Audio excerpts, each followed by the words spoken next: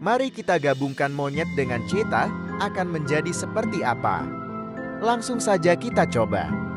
Monyet. Cheetah. Mari kita gabungkan. Oh ya, sebelum melanjut jangan lupa di subscribe.